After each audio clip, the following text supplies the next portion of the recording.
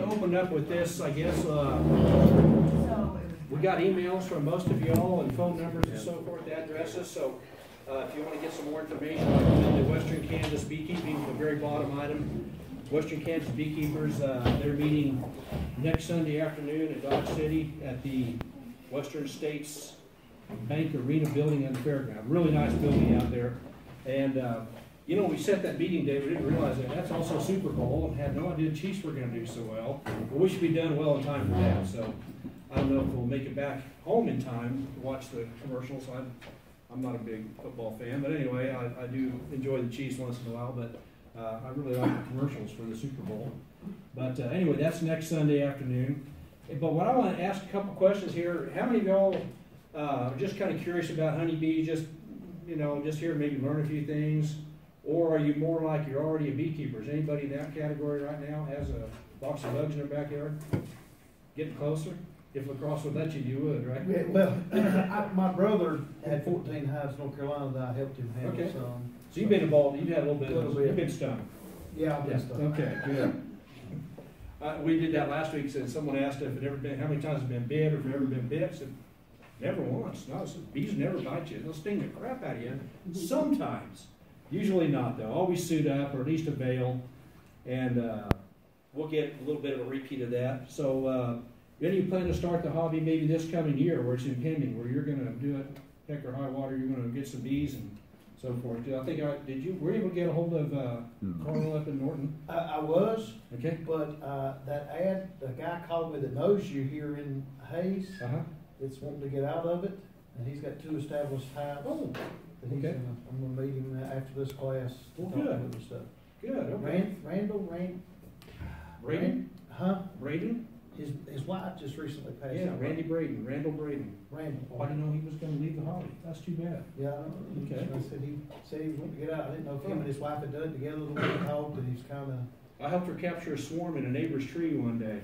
And, uh, yeah, she, he was out of town and, uh, that was a lot of fun. The neighbor didn't think it was too fun because she had daycare. But in, a swarm, the bees are pretty calm. They're, they're not interested in attacking anybody. Nobody got stung. I still had a veil on, because just in case, you never know. But, uh, yeah, swarm, we'll talk a little bit about swarming later on, but swarms are usually pretty calm. You know, they're, hey, they're homeless. They're hanging out on a tree or a mailbox or whatever for a few hours, maybe a few days. They probably already know where they're going, but they're, they're not out to attack anybody, and you can play with them a little bit if you want without any fear. Um, Again, with the emails, if you guys don't mind, I'm gonna forward them on to the state, because I believe the state association is uh, gonna grant a free one-year membership to anybody who takes a, a class this year. And they'll, the big thing about it, you get the newsletter by email, so they gotta have your email. They're not gonna, we, we did that to save postage when I was president a few years back. Um, I printed off a couple copies, I have one extra copy left of the capping newsletter. And I, I don't mean to speak ill whatsoever, Stephanie, she's a nice lady, she's the current editor, and I can get you all more copies by, by email. See, I can give you guys one. I can send you guys some copies out, there's just not much in this one, uh, there's a little bit of talk about the, uh, the national associations always meet in January, and the American Honey Producers Association met in Chicago. Who would set up a meeting in Chicago in January, but it's still good turnout, I guess there's probably a thousand people or so there, uh, from around the, uh, around the country. But, uh, there's a lot of, uh, like I said, the Western Kansas group, uh, we just meet every other month. So we're gonna be in Dodge City next Sunday, we'll be in Hays in April, and we kind of bounce it around, east and west.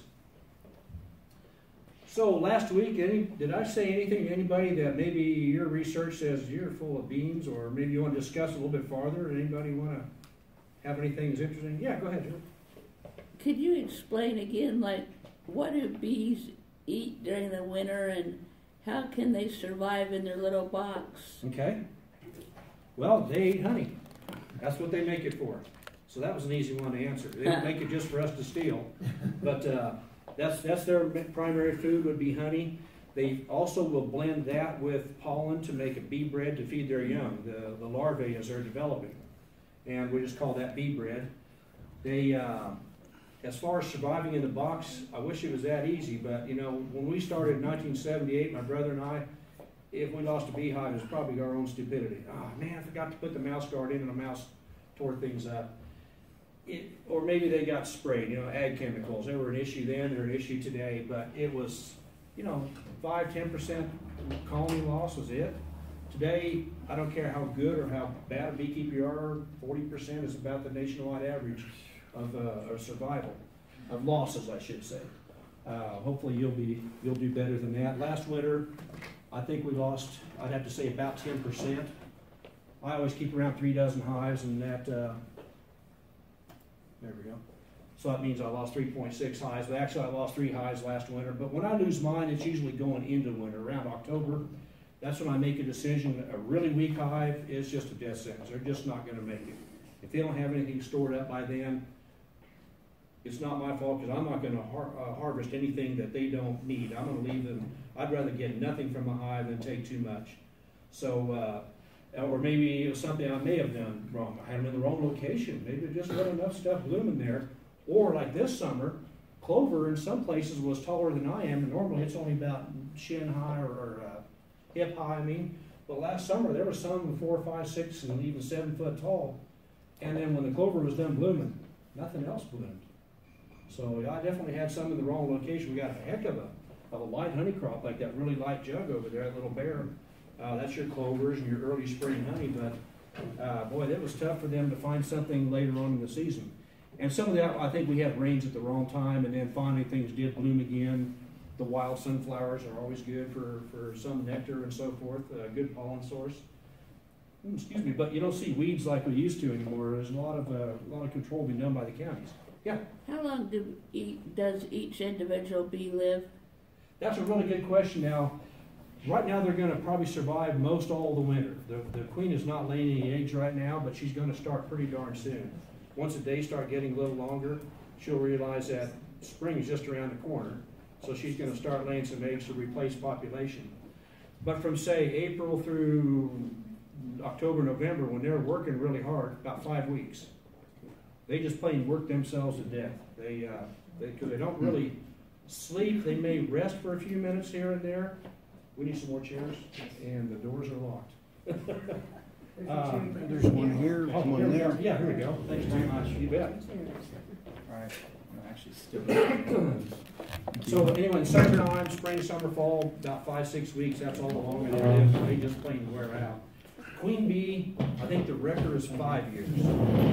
But, uh, we hope to get them at least through the year, especially the second year, because the second year, it seems like the queens really shine. That's when they're really doing a great job of laying eggs, and after that, they start to decline. But, uh, so I, always try to remember mark the hives a, I keep a notebook of what's going on with this hive and that hive, with some details anyway. I should have brought one of those sheets, I guess, uh, what I inspect for. But it's basically the record starts, okay, this hive will have the location, wolf farm, wolf pasture, uh, a guy named Rick Wolf has, uh, lets me put some bees in there, and, and I always go like left to right, so the west hive, the left one, that's number one, and so forth, and I know the queen in there was an Italian, and, or whatever, maybe, uh, it could have been Carniola or some other variety, but, or mutt, who knows what, uh, what we really put in there, we call them mutts, because chances are, ninety-nine percent of the queens around the country are some kind of an Italian, mixed in with some other DNA to make a hybrid Russian or what have you.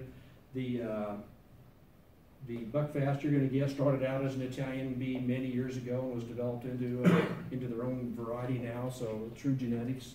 The Russians are a hybrid. I- I've got a couple, maybe you're gonna cover this, but, Yeah. uh, speaking of that, uh, as I understand, it, the queens will go out on a flight, and that's when they get impregnated, correct? Mhm. It seems like if you're in an area where there's, unless everybody's got the same kind of bees, it seems like the odds are fairly good that on that flight, it may not be, It'll be mutts. yeah. You're gonna be raising, now yours is, are gonna be mated when you receive her. Yeah, so she, they've already either tried to control what's there. I'm pretty sure she's not artificially inseminated because that would have been hundreds of dollars, if not thousands, for that queen. But, uh, she'll be openly inseminated with who knows what, but Well, then, when they clip their wings, uh-huh. subsequently, how do, how do, if they don't take that flight again? That's how, they, they mate the one time. They'll, they'll maybe mate over three or four or five days. It's when they're very young. So young. they ne- they never take But this. once they, once they've mated and then they're back in their hive and they start laying eggs, they'll never mate again. Another question, Really? um, I keep reading about nectar flow. For this area, when is, when is that time period, or time period? We might be, uh, no, I think that was last week. It, it kind of depends, uh, it's gonna really hit about May. Our big nectar flow here is May, cause around Memorial Days when the clover comes out, the wild sweet yellow clover starts blooming like crazy. Um, gay, Kansas gay feather and trying to think some of the other weeds. Uh, milkweed comes up in maybe June, but our biggest flow is gonna be starting in May and ending about wheat harvest time. And then there's sometimes there's a lull, we call it a dearth, where there's just not much out there. And then things kind of pick up in August, September. Hopefully, we've had some rains, and then the fall blooming things will come along and. and So out, out of the nectar, when it's not during the nectar flow, is it basically pollen then, that they're? They're gonna find something, they may need water, they may need, they might find some nectar, there just may not be a whole lot out there, but they'll be bringing in a lot of pollen too. Yeah, very good question.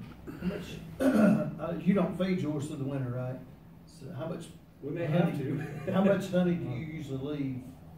We'll leave the bottom two boxes, uh, the, like those two, it- The deep brood? those two dreeps, and I always leave a third something.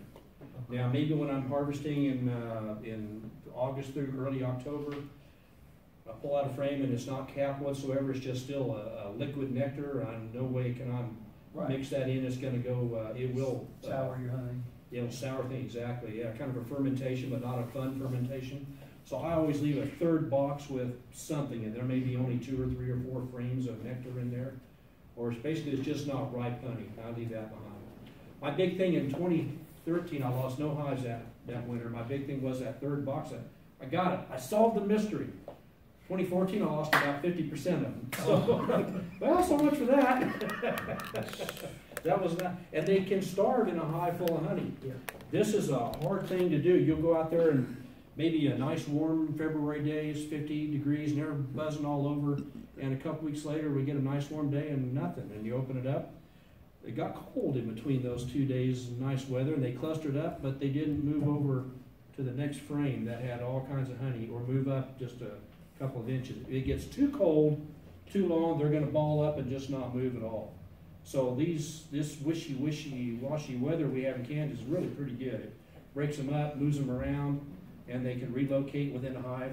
But if we get a sudden, really severe cold snap, they may not cluster up tight enough and they could perish also because they're scattered throughout the hive. And uh, they're not in a nice tight ball keeping each other warm. Because if this is a beehive, they're, they're, don't have a furnace to heat the whole thing. They just cluster up tightly to one another and kind of wiggle their, their wings are disconnected, the muscles, they disconnect from their wings, and they kind of vibrate. Just kind of shimmy their shoulders, so to speak, and then that's how they keep one another warm. So the warmer, uh, the bees on the outside are kind of cold, they're gonna wiggle their way into the middle of that ball of, of bees, and those bees inside are maybe a little warmer than they wanna be, they're gonna climb through that. So that cluster is always in motion, but what they're doing is just kind of vibrating to keep one another warm. The actual hive itself Do you maybe- insulate your hives? won't be any, what's that? Do you insulate your hives? I don't. Uh, there are a few folks that do, and I think the survival is just not really proven that. Now, once you get to Nebraska north, they usually do insulate them. And there's also a company, Beemax. They make a, a styrofoam uh, beehive, and they're like two and a half inches thick of foam. And uh, the only thing I have with that, my brother has one, is they need to reinforce it in places because bees glue everything down. When you're prying things up, it's going to bend up and break up that foam. So we need to Is that a we need to add some- Add some features to that hive to make Is it that a cover or a, a literally made out of? Yeah, the cover is literally made out of styrofoam. You have to paint it so the sunlight doesn't tear them up, of course, but, uh, those are used a lot like in Norway and Canada and Alaska. I mean, they keep bees in all fifty states. I mean, imagine Ala, I used to think Alaska really, that, well, yeah, twenty-four hour sunshine in the summertime. They're out there working, working, working. They're- I mean, they may only have a short couple of months that they can really bring in some nectar and pollen and stuff, but man, they got it twenty-four hours a day. So, well, that makes perfect sense. So, what other questions? She's homeschooled and she's actually then doing beekeeping right now. Okay. About bees, she wants to tell, you to tell her about uh, royal jelly. Royal jelly? You know, I don't know really a whole lot about royal jelly. It's a very, very high protein substance that the younger bees produce with some kind of glands within their their gut. It's a milky looking substance. And all young bees, as soon as they hatch, they're fed royal jelly for two to three days. And the queen bee, if they're making a queen bee, she's fed royal jelly all the way through. That's why they, they name it royal jelly, because that's the only thing she is fed during her development. Um, you can buy royal jelly. I would be careful because some of it may be some kind of a blend of royal jelly and, and, uh, oh God, I'm trying to think of, uh, yogurt. I mean, there's all kinds of people blend things together, they shouldn't anyway. And a lot of royal jelly may come from, uh, China also, and I would be cautious because I'd wanna, if you're buying it for a food supplement, I'd wanna know where the source is, make sure it's not coming from China because they use some pretty nasty antibiotics over there in their beekeeping practices that are possibly cancer causing and so forth. Where do the bees keep it? They keep it in a cone too? They just produce Or it as just they need produce it. it as they, Yeah, As they so need then it. how do they get it if they're just producing it as a? That's a good question. Yeah, it's blended from, uh, nectar and pollen and, and some other sources. I don't know what's all in royal jelly, to tell you the truth. How are they selling it if the bees only, that's, They, uh, they take a pipette and draw it out of the, the honeycomb cells and, and I would think it's probably a pretty tedious process. Probably they're doing a queen cell production and, and the queen cell's gonna have a lot of royal jelly in there, so when they take the pipette to, to draw it out of there or syringe, they're getting quite a bit more than they would a, a worker cell. So, I don't really know that part of that industry, so that's, uh, uh, you can also sell propolis. We mentioned it's a glue caulking, it's a medication, if you will. And they make a special trap It looks like a queen excluder. And, uh, it goes into cosmetics and some medication. I don't know much about, uh, that part of the, the industry at all. We we don't dabble in that. Go ahead. Uh, you mentioned Carl from Norton earlier. Is he still in the hobby, or is he? Yeah, he's just downsizing. Okay, I was wondering, Yeah. 'cause I saw some stuff he was selling. Cause he's selling beehive bodies and they're Yeah. in good shape. Seen him around to buy honey, so I was just curious. I think he's in Florida or heading to Florida. Oh, is he? Yeah, someone says he's gonna be there for about a month or so. Okay, I was just Yeah. curious. Now, he didn't get that money from keeping bees. He's a banker. Oh, I know. Retired. So, those who say, can you make money at this hobby? And that was you, I believe. A, yeah, Carl made his money as a working man in the bank and, uh, and spent it all keeping bees. Yeah, we talked about some of the tools and equipment you need. You're gonna absolutely have to have at least a veil or something like that to protect you from stings. I wanna pass around our, uh, label.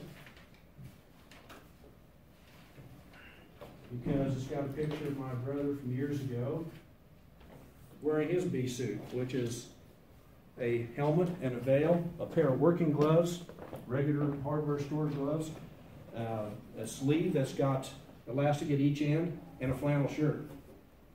So, I mean, you could do it on a shoestring. You don't have to start off with a hundred fifty dollar ventilated bee suit, what have you. You could do it on a shoestring. You gotta have a veil. And I'm not gonna show the tools again, but some kind of a hive tool, a screwdriver will work in a pinch. Machete doesn't work very well, although that's all I had one time. I don't know what I did. I left my hive tool at the house or something anyway. It, it, it helped break things loose, but it was pretty, I always keep a machete because my theory is one day I'm going to walk up to a hive on pallet. and There's going to be a dang rattlesnake there. Now I'm not going to get close enough with a machete, but it'll make me feel like a man. I got one in my hand and chase them off. But uh, so far I've never, I have ran across a bull snake, but no, uh, no rattlesnake. Hive placements, again, if you're in town, you want to have a fence or a structure or something, they fly up and over, so pedestrians don't even know they're there.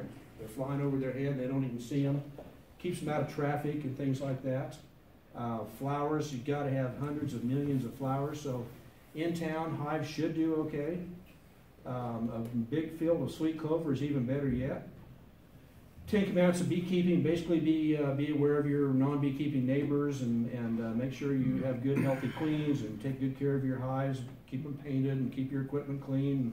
Process your honey you're giving away or selling in a clean environment. Um, think about if somebody's making a candy bar in a chicken house, uh, would you wanna eat it? So why would they wanna eat your honey, you know? You can do it in a garage, I guess, but, uh, I always figure if step one on harvesting honey is to move the Harley out of the way, then maybe that's not where I should be processing my honey. You know, I wish I had a Harley. Uh, how to get your bees, where to get them, and so forth. so we're kind of starting now. We've released the package. We've installed her in our in our hive. We're coming back a couple days later because we want to make sure that that queen in that little cage here, that either they've eaten through the candy that we gave them, or If you do what I was taught was pop the cork out and put a marshmallow in there or a gummy bear, they'll chew through that in a couple of days. If you're introducing a queen uh, to maybe a split, we'll talk about splits here in a little bit. That's where you take a heavily populated hive and make two or three smaller hives out of them. You might want that queen to stay in that cage for several more days and just don't let them chew their way through. Release her on your own terms. And sometimes it's funny that they won't chew through the gummy bear or the uh, I don't use gummy bears, I use marshmallows. They won't chew through that. They won't chew through the candy on the other end. And you think this queen wants out of here. You pop the screen off and she's just running around in the cage. And sometimes you have to tap her to get her out of there. But usually she's out like a bullet. She does want out. But in that time, if we have brand new uh, foundation in our in our frames, they should be uh, starting to draw them out. Uh, we'll have some undrawn areas, and there's going to be kind of in the middle. They put the bees in the middle of our hive, and uh, and the biggest work, of course, is going to be there. This is just a few days after the uh, package was installed, because now we're we're releasing the queen. So uh, hopefully she's still in good, healthy condition. A trick that I was taught many years ago, and I've got my own honey, but I take that little queen cage, which I've got installed over there, and I'll just smear a little bit of honey on the screen.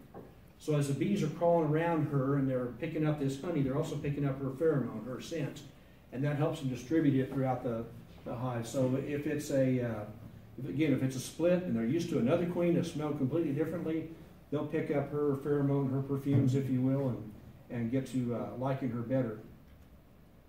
Don't use grocery store honey because who knows what diseases may be in that honey. It- You don't want to introduce something to your hive. Yeah, Dennis? Right, uh, to that point, uh, you know, I've been watching a lot of these videos and Uh-huh. stuff, and some people do the shake method and some lay it on its side and all that. What I'd like to do is when I empty that package out, is there some way I can strain that? So rather than dumping any beetles or dead bees into my hive and then trying to get them out or watch them scurry off, is there They'll, some way? they'll kick out any dead bees.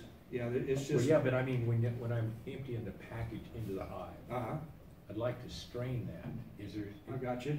is there, some- you know what I Well- mean, to keep the, whatever debris in there from going You- If into? we're in our hive here, two, two or three, four days after we install the package, and my method, this is just kind of what it's gonna look like. Your hive will not hinge. This is my teacher. Uh, The cage, when we installed her, we put the queen right here in the middle, Mhm, screen out, or at least so it's not facing the, uh, the frames. mhm. Might dump some bees right on top of her and put the feeder nearby so that they don't have to go very far to get to the, uh, the feed anyway. But this cage here, after a few days, most of the bees are gonna be out of it. There may be a few Yeah, but ones what I'm saying is when. I do that dump, Uh-huh.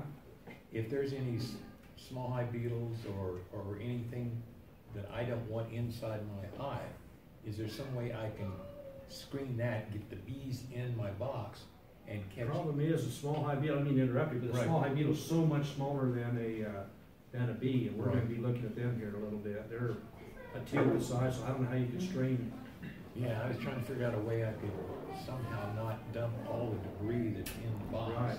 in my hive. And there's, there could be, I mean, that's how diseases and pests get transmitted, is unfortunately in packages or nucleus or used hives and so forth, there, there could be some problem in there. to figure out how to do it, if I dumped them in a bucket and dumped them, I mean, it seems like I'd be kind of in the same boat, I was just trying, I don't think you'd be able to separate them, because when they cluster up again, that little small hive beetles are gonna crawl around with the bees. right, And they're gonna stay warm with the bees, and they're gonna feed with the bees.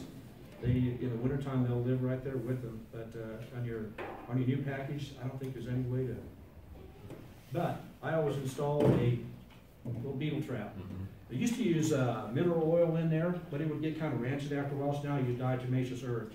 And these little grooves in there, we can pass that around, the bees are gonna, they don't like those small hive beetles any more than we do. And we'll see them here in a little bit, they're gonna kind of herd around the hive, and the beetles will dive down in those little holes, the bees can't get in there, and they get into your mineral oil or, or your uh, diatomaceous earth, and that'll perish them, so Have seen- early on, early on, do something like that to help control that population. have you seen guys using those Swiffer pads?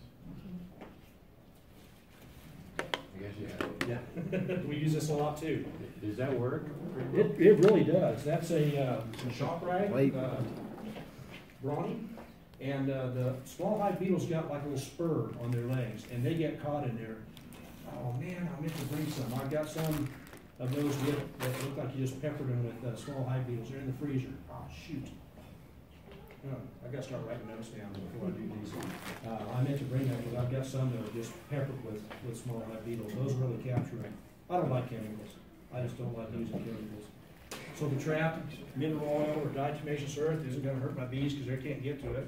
They're not gonna be able to fit in those little holes. And that brawny cloth, the bees can walk all over it, And they'll chew it up eventually anyway, they'll shred it in a couple of weeks, but, um, the bees or the beetles get stuck on it. So Where it do you put it, where do you put it in, in the hive? Right on top, right on top of your Oh, you lay it on top? Yeah, maybe cut them in little strips about, uh, because the sheets are, you know, about eleven inches square.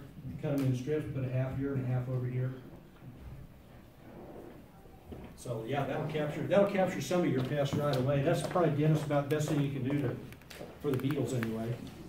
Because you're gonna do the oxalic acid treatment on the uh, package, so that should hopefully knock out every single mite that comes in there, if any come with it. Uh, that's really wordy, but inspecting your hive, if it's really cold, let's not do that. So fifty degrees or better, maybe a sunny day is best.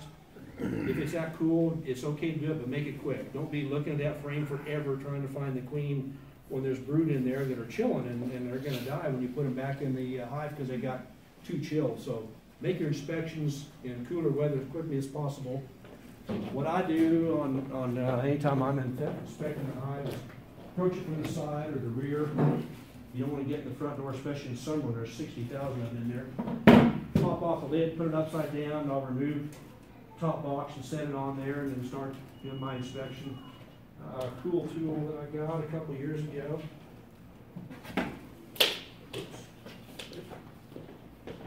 This frame holder, I think that is great because you can, you pull out a frame and oh, nothing going on here. Hang it there and look at some more frames and, oh, there's my queen, I wanna protect her, maybe I'm gonna put her over here. The worst thing I've done is after I put all my frames back in is I get the hive built back together, and sometimes I forget, I only own one of them, and then I forget leaving on. And I walk away, and there's these little rods sticking out, oh, great, I gotta tear the hive apart again to get my tool back, so. Yeah, I don't, uh, I don't outfit every hive with one, but this is, this is a nice, this is one of those, yeah, a couple years from now, I need to get me a couple of these, or one of these, they're around twenty dollars, I suppose, somewhere in that neighborhood. Uh, yeah, use your hive tool, pry loose the outermost, uh, frames, because they probably haven't glued them down. Remember, this is early on, this is only a few days after that package is in there. So we're gonna remove the outer couple of frames and start getting into the core of the population. Um, we should notice in there some whitish comb, uh, being built on our, on our new foundation. Or if you were blessed with some used foundation, there might be some nice shiny, clean, uh, comb being built on, on them. Maybe some spots were damaged that they're repairing, getting ready for the queen to lay eggs in there. I do recommend, if at all possible, you're probably gonna get the plastic foundation with your hives these days, the black plastic for your bottom couple of boxes, for your deeps, for your brood.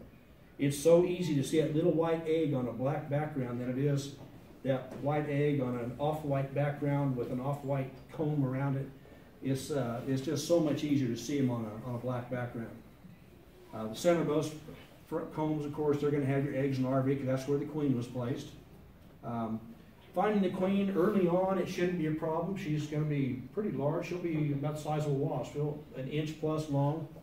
Uh, and the bees are a little bit shorter than that, of course. There should be some drones in there possibly. Uh, depending on where the packages come from, they may have drones in them, but usually in March and, and April, there aren't very many drones around just yet. Uh, but if you, if you can't find your queen, but you see eggs, you see signs of larvae developing different stages, she's in there. You just, maybe it's cold, you better put things back together and not, not chill things. I think we might have looked at this one. One egg, yeah, see, this is your, your, uh, natural cover foundation, I guess it would be the term they call it, one egg in the middle. And shrink that down to the size of a twenty-two bullet. That could be kind of hard to see depending on your, how, uh, how good your vision is. There's the queen on the left depositing a- an egg in the, in the center. And the larvae, they're developing. Again, here we've got a bunch of eggs, we've got some, I don't know if you can see very well, there's some newly hatched larvae in there. There's some larvae that are just about ready to turn into a pupa. And these over here have been capped over, so their final stage of metamorphosis is happening right here. So at 10 days after that egg is laid, whether it's a queen or a worker or a drone, they're capping over that, uh, that larvae so they can transform into their, their metamorphosis to become the uh, actual pupa and then turn into an adult worker bee or a, drone bee or whatever that may be. There's different pollens and nectars. Uh, shiny stuff is going to be some pollen, and some of this is probably blended. Uh, there's pollen, this is some nectar here. Some of these may be a a color where they blended the pollen and the nectar together, and they're going to be feeding that bee bread to their, uh, their developing young. But you may notice a variety of colors. I don't have any good clean frames of uh, pollen to share, but man, they'll be not really pink, but maybe a red, orangish, greens, all kinds of colors, yellows. So when they first hatch out, there's an egg. Yeah, let's find the smallest. That's about the smallest larvae, about the uh, newspaper print C in a curl. That's about all the larger that, that larva is. I'm hoping we can put together a queen rearing class this summer with the uh, Western Kansas group. We'll actually be pulling some of those tiny larvae out and grafting them into some queen cell cups to, uh, to make some queens. Uh, that's going to be quite involved to get that set up, so I'm hoping we can swing that. But, but there's a variety of age of developing youngs from the age eggs to recently hatched to several days along the way. And three weeks, we should start seeing all kinds of stuff. We should start seeing what we see in the upper and, the, and on the left, hopefully. This is kind of what we call a spotty brood pattern, where we may have, uh, oh, maybe they got into some kind of diseased pollen when they were out collecting, or, or not necessarily disease, but uh, chemical. Could have been some ag chemical spraying, and they got into that. Hmm, excuse me, and the uh, larvae weren't viable, or they weren't able to uh, withstand the uh, being fed that pollen, and, and maybe they're dying, or maybe the queen is going bad. She, maybe she wasn't very well mated, and that's what we're seeing instead. That would be, could be a sign of a number of things. That's when you want to get your mentor in there and say, man, what have I got going in here? Bill, please tell me what, uh, and, uh, or maybe a really close examination, there's all kinds of eggs in there, and, or perhaps some of these have just hatched out recently. So you want to really examine carefully to see what, uh, what's going on in there. Again, three to four weeks, look at your traffic on your front porch, there'll be a lot of bee activity coming and going. If they don't have a queen on board, they're not very motivated to bring in food and, and pollen, because they're, hopefully if any eggs are laid at all, they're busy producing a new queen on their own. Uh, you'll find out as you pull the frames out, maybe you'll see some, uh, some queen cells, we'll look at some here in a moment. But uh, three weeks, the brood nest should really start just increasing in size. Several frames should be being drawn out very well. Even if you, like if you get your bees through us at the end of March, you know, they think, oh, it's still cold in winter. Yeah, there's all kinds of stuff blooming then. So on those warm days, they can get out there. But if they can't get out, they're still working in the hive. So you make sure they're fed, well fed. Uh, maybe a pollen patty might be necessary. Uh, I always do that on my new packages and, and swarms and such. So they've got the protein to mix synthetic uh, nectar, sugar syrup. But we should have a lot of frames of drawn comb, and you can't stop feeding yet uh, unless they stop taking it for some reason. Maybe they found a heck of a, a pollen source, but that's unlikely this early into the. Uh, you, you'll probably be feeding your brand new package for maybe five, six weeks or better. But sometimes they'll just keep on taking. They're just packing it away in the cells, and you'll you look up the comb, you look, oh, that's that's sugar in there. That's not nectar. So then, if, if they just plain keep taking it because you're giving it to them, then you can stop. But uh, you should have a lot of capped brood and, and uh, brood in all stages of development. So now we're getting in there. Now we got 10 frames in that hive. Now seven to eight of them are just loaded with bees. It's time for box number two. That's kind of the rule I always say, 70, 80%. If that comb is drawn out that well, then we can expand. We don't want to crowd them too much. But uh, here's how I'm going to break the rules. I run nine frames in all my boxes, whether it's a brood chamber or the honey chambers. We've almost always done nine frame in the in the honey supers because they'll draw that comb past the wood. It just stores nine frames will store more honey than ten tightly packed frames will. But I do mine at nine, and I got that when I went to the uh, University of Nebraska for the queen rearing school back about nine years ago, I think it was. They ran nine frames everything because it's easier to get in that hive and not damage bees. Because when you start pulling out a frame in a heavily populated hive, you're going to be rolling some bees and injuring them. And that one, you sure don't want to hurt your queen. If you lose a few drones, eh, they're expend- they're expendable. Uh, we got to have them for DNA, but other than that, there's plenty of them in the hive. So, but uh, if you don't see a good solid brood pattern, or if you see multiple eggs, and we'll see a photo of that here in a moment, it's probably time to put a new queen in there. So When again, when have you your go to mentor help you. When you What's go that? to your second box, do you leave your queen excluder on top of the first one? No, you want her to, those are your brood boxes. Those bottom two boxes, that's all for rearing brood. So you want to go ahead and move that, or not even have a queen excluder yet, not until you start adding your honey supers on. So your first two boxes, that's just for, for the queen and her, uh, her workers to lay eggs and store, uh, not store, store a little bit of honey, but to raise the young. The brood chambers is what we're gonna call them. Nice strong colony here. Uh, got good population. This is probably well, this is two boxes, so it's obviously probably uh, middle of the summer. Here's an example of a ventilated bee suit. Santa Claus didn't bring me one this year, but uh, everybody I know who owns one loves them. Boy, they they say, yeah, you can you can wear shorts and bikini or whatever you want in your regular bee suit. You're still going to sweat, but in these things, uh, the air passes right through. It's like multiple layers of mesh with a thin layer of foam in there, so they cannot sting through it. Although I had an opportunity, it fell through, but uh, opportunity to go to Kenya this last summer and work with some beekeepers over there. And, and I asked somebody, I said, "So as hot as it is there, do I want to bring a ventilator suit?" They don't know. No, you don't, because they've got African bees there. So you want some good, good, sturdy uh, bee suit.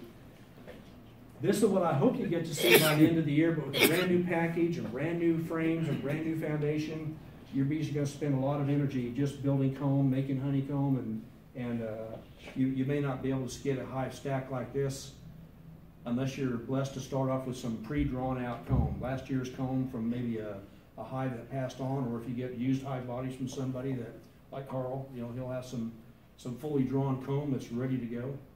Um, this may be what you look like here in, in say August or so. This is a colony that's obviously too strong. They're going to swarm, or they're in the process of swarming. Actually, we'll talk about swarming here in a little bit.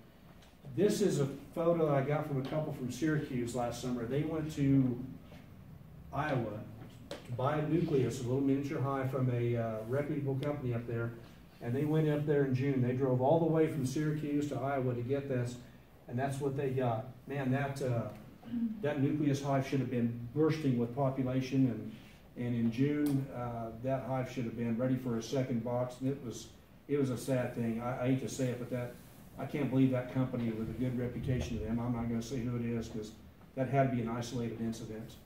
Um, if you're buying a, a used hive, a live hive from somebody, or a nucleus hive, make sure you get to pop the top, see what's going on in there, and see how well populated they are.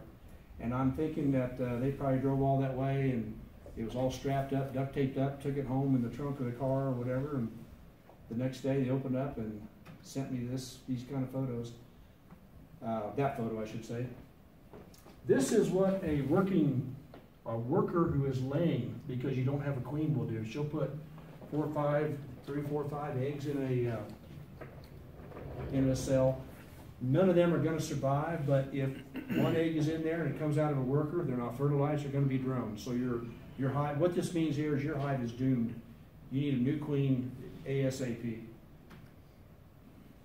Oh, there's just some wild comb. I mean, it's important when you're uh, when you're putting your hive together that you put all the frames in there, because if not, they'll fill the space. They, they do burr comb, they'll do all kinds of stuff like that. I mean, that's a, I think that's a feeder that for some reason the bees built comb in it, and uh, yeah, they're independent contractors. They do not read the Beekeeping for Dummies books. They're going to do whatever the heck they want in your box,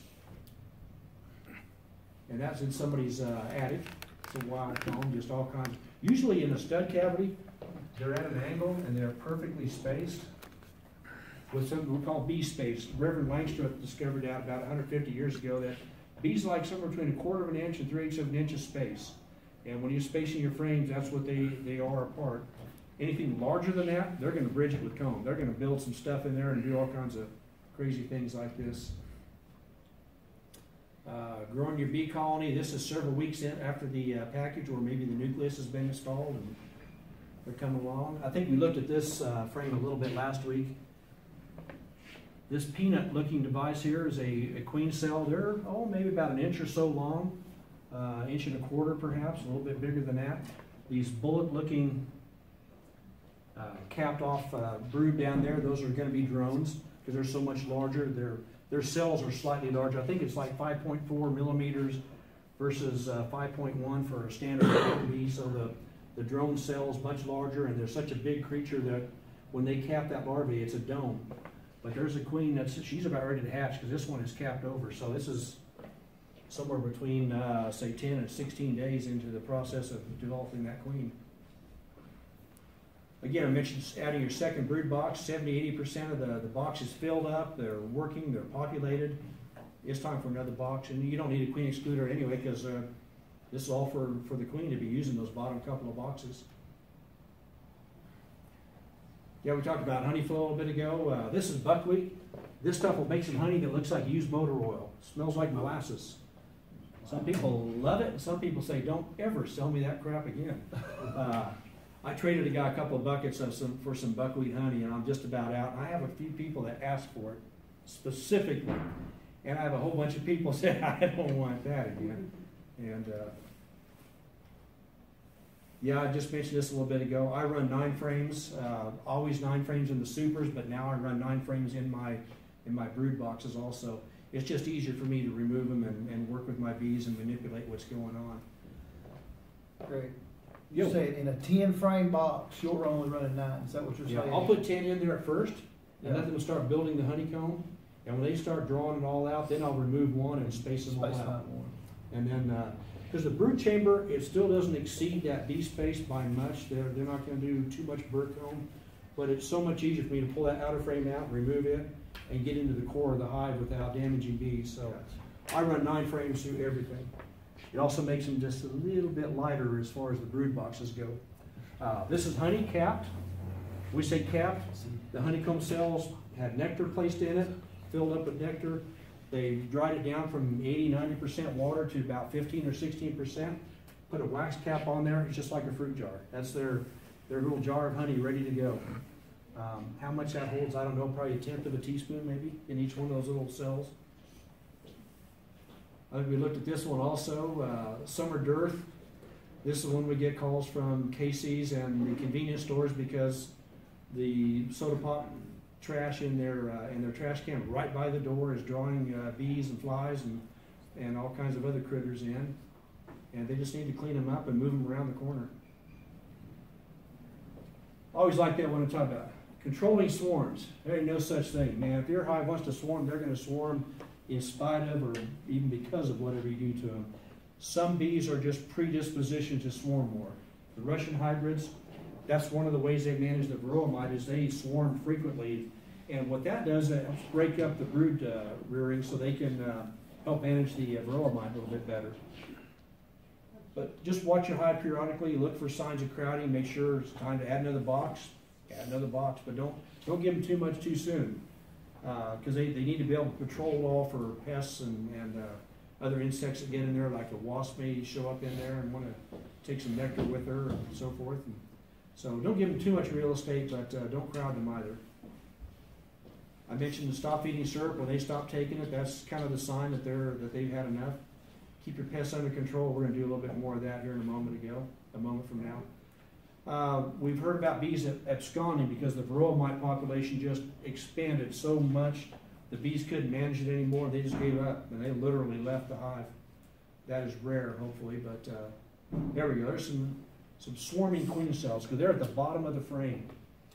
When you see these queen cells up in the upper part, that tells you I may have a problem. Maybe I lost my queen, or maybe she's not very healthy and they're replacing her. But when the queen cells are down at the bottom, that means we're going to swarm here in a few days.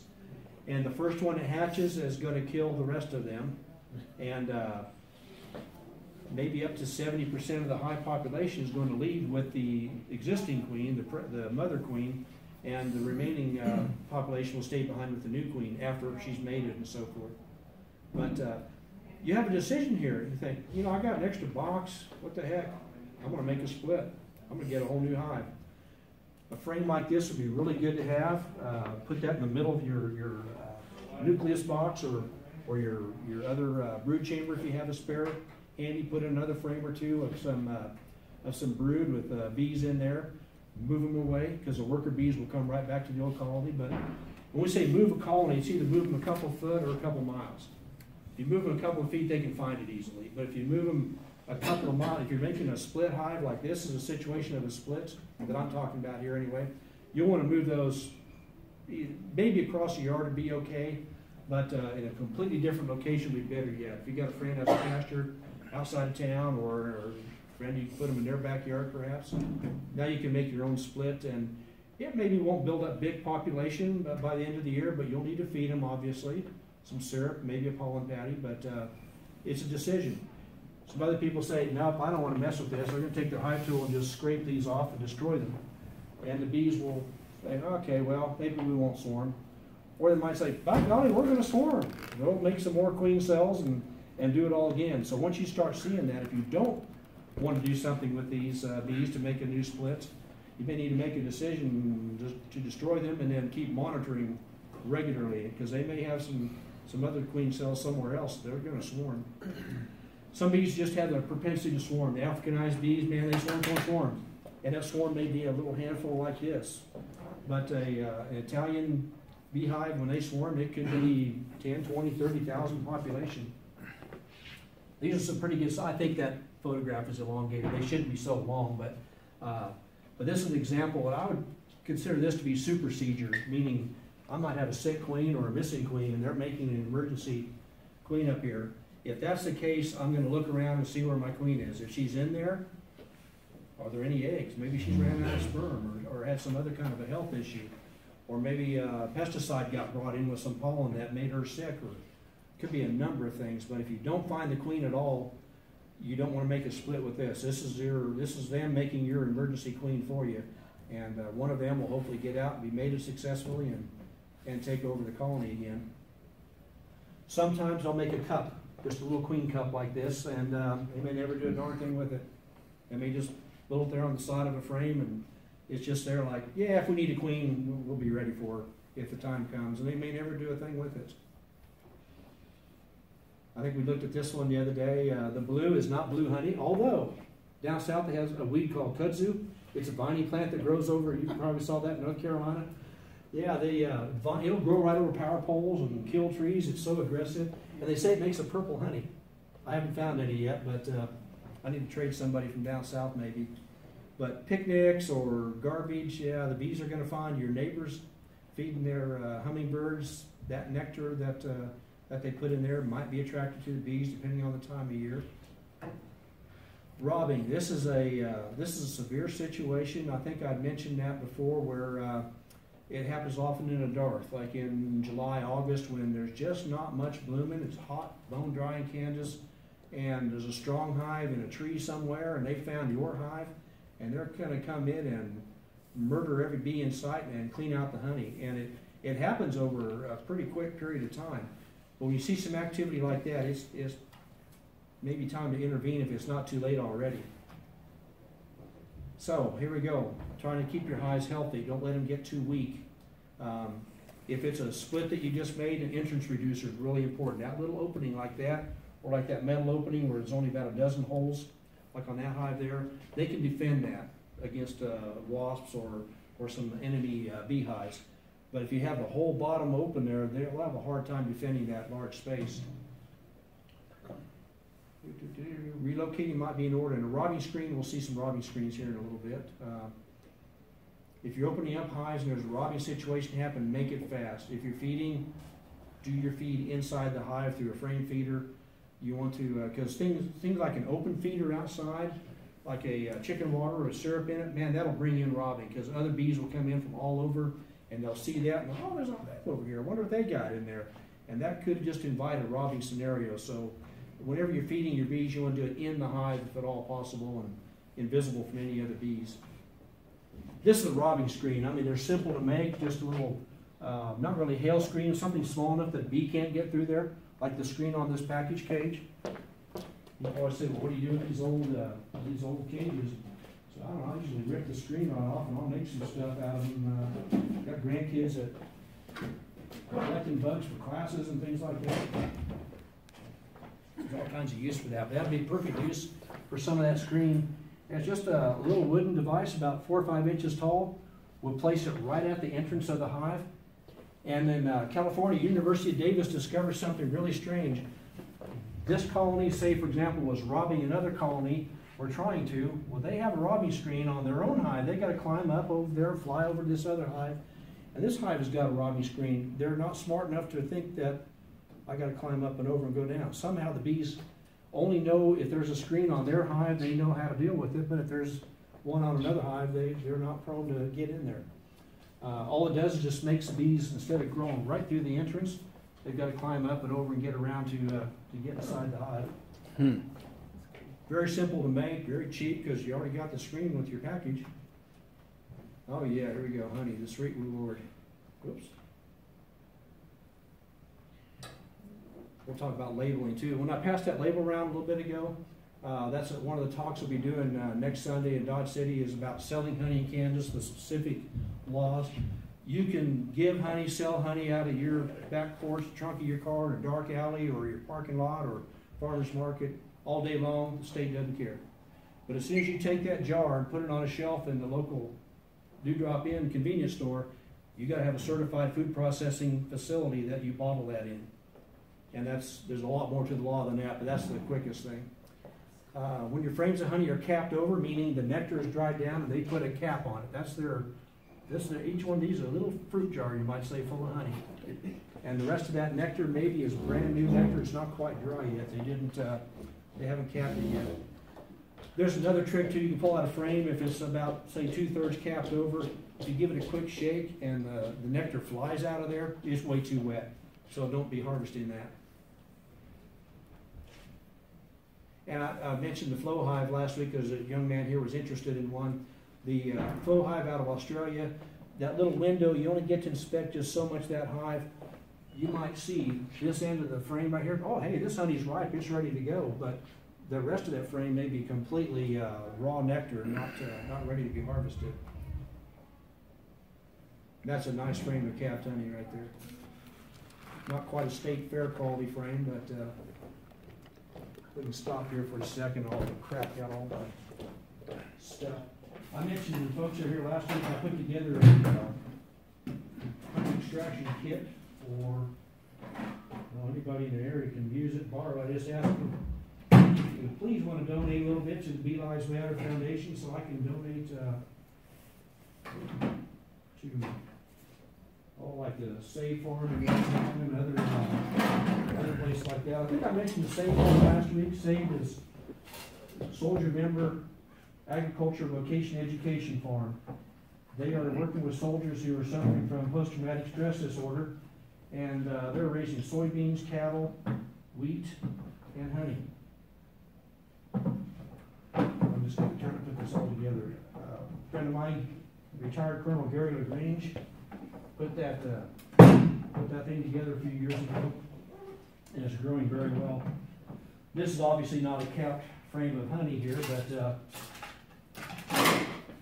parts of the kit that I got together, we got a heated pierce knife that'll cut that, uh, cut that comb off. This is just a netting, a uh, bucket filter. So as you're harvesting away and, and just kind of fillet it along, might have to wiggle it back and forth a little bit. They also make unheated knives, but this is what I've got to, for the loaner kit. This little, uh, bucket device here just helps hold the frame, so you, you've got something to work with while you're, uh, while you're cutting off the caps, turned over. Pretend she's not there. And you're gonna take that comb off, or another tool I have is a, uh, some people use just a capping fork. And you just take that frame and pretend this is all capped honey over here, just kind of fillet it along or side to side. And every now and then there may be a little low spot in the comb. They may not all make a nice textbook frame like we saw earlier. There may be a little dip. You'll have to take your comb and kind of dig that out anyway, or scratch it. This device I have not used yet. Um, I forgot who makes that. It's, uh, oh yeah, Be Smart Technology. It's just basically little plastic knives, and you just kind of slice down the, the capped comb. That would be okay if you just don't wanna use anything with the beeswax. You don't need the beeswax for candles or cosmetics or anything, because you're only gonna get a small handful of, uh, of wax compared to when you use this knife, you're gonna get a lot of wax off of that, uh, off that comb. I haven't used this yet, but the thing I'm thinking you're gonna need is a bucket of hot water, very hot water, because that's gonna fill full of wax pretty quick. So I think you'll probably need to dip it and maybe, maybe take the comb and comb that out. Because I, I, look at that, I think it's gonna get plugged up. Uh, some other things in the kit, I've got a strainer that, so you can strain the honey out of the extractor, it's a two-piece. So the coarser stuff will capture in here, your, oh, maybe a broken wing from a bee that somehow got caught in there, uh, it does happen. And, uh, larger chunks of wax, and then there's a much finer screen down here at the bottom. That sits on a five-gallon bucket. I didn't bring the extractor, it's a four-frame hand crank extractor, but, uh, anyway, it's about six hundred dollars worth of stuff, five hundred fifty, somewhere around there that, I didn't pay all that for it, some of it I got from an auction or two, but, anyway, it's available if you ever need it, just get a hold of me and, uh, we'll hook you up with it. But, uh, yeah, honey harvesting, around here, August is about the earliest you're gonna be able to harvest any kind of honey, and you'll know that that, those, uh, frames are completely capped over with wax, that means that honey is definitely ripe. I mentioned a bee brush the other day as one of the tools you might need, uh, that you will need something, paintbrush, feather. A bee brush works very well. You're not sweeping the bees off, you're more flicking them out of the way, so, uh, excuse me, so you're getting rid of them. And I forgot to bring my, this is an inner cover that has a, uh, kind of a bee escape. Uh, It's sort of like the fish trap technology. The bees will climb out and go out through here. These openings are a little over a quarter of an inch wide. And if you uh, put it on the night before, they'll crawl out of the supers and they have a tough time getting back in. So tomorrow when you're harvesting honey, you'll have just a handful of bees to contend with up in the, up in the honey chambers. If you leave it on very long, they'll figure it out and they'll get back inside there. This is a compound I use. It's called Fischer's Bee Quick. It smells really sweet, kind of an almond smell. It doesn't work near as well as the old-fashioned chemical called Bee-Go. Bee-Go smells like vomit. I mean, that's the only way I can describe it. Uh, you put that on a fume board, squirt it onto a fume board, and set that over the top of the supers on a nice warm sunny day, and, and the, the odor kind of helps drive the bees out. Um, the go worked really quick. I mean, in minutes it would clear the bees out, but it also made you want, you know, you're one of those people that has a bad gag reflex. You don't want to use that stuff.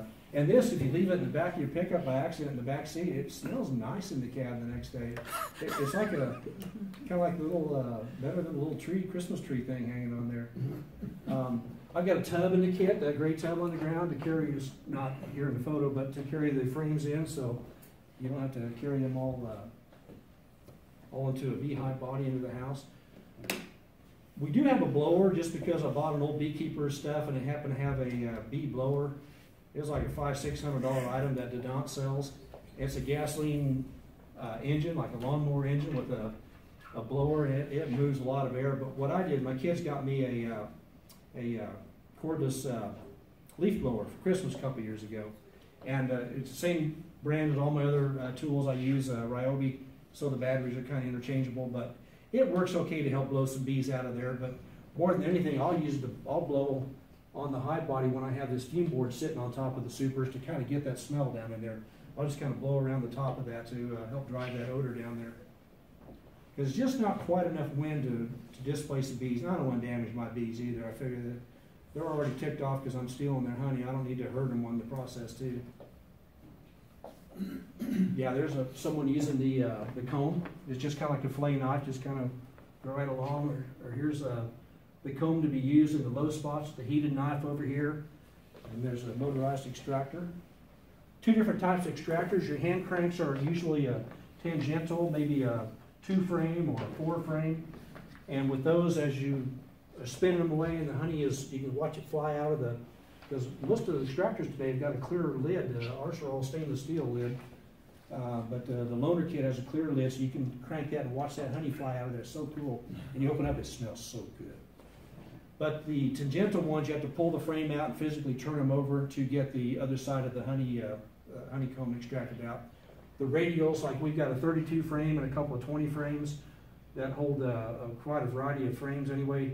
Those don't have to be uh, turned around. They uh, you just insert them in there, flip on the motor, dial the speed.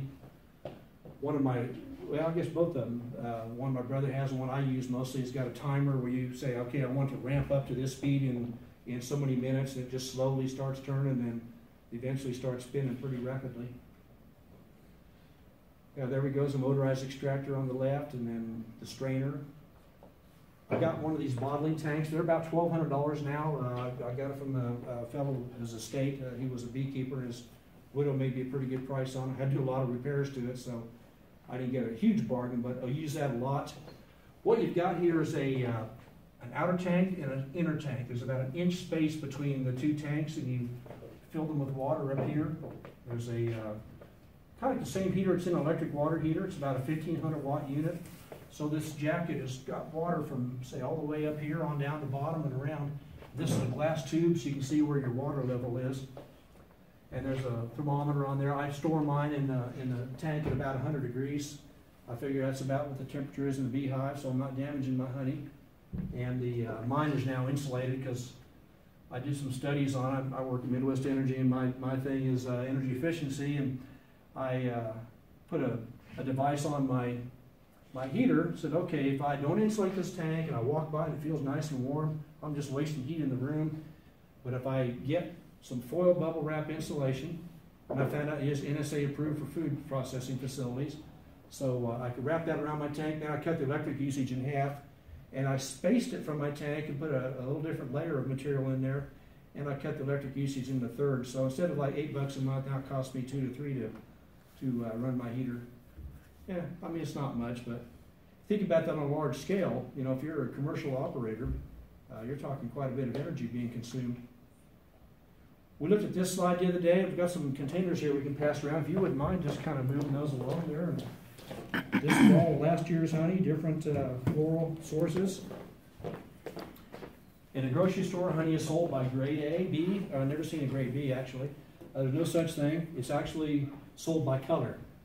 All honey in the U.S. there's a, a fund PFUND scale, and there's I know there's 16 jars. One, two, three, four, five, 15 jars here, but there's 14 actual colors in the Pfund scale. And it's anywhere from water white honey, which would be like um, fireweed, grows up in Alaska and Canada, and this would be one of these would probably be that buckwheat honey I was telling you about.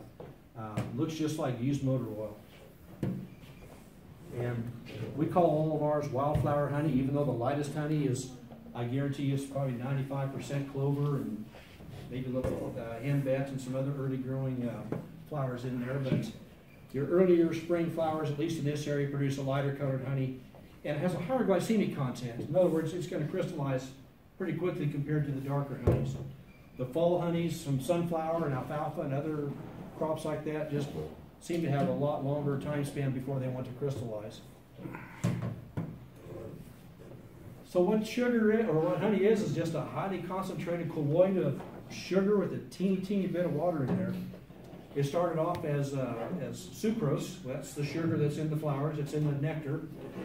The bees took it into their, their honey gut, which blended a uh, enzyme with it, took it back to the hive, and that sugar got turned into glucose and fructose. So the higher the glucose content, the more rapidly your honey is going to crystallize.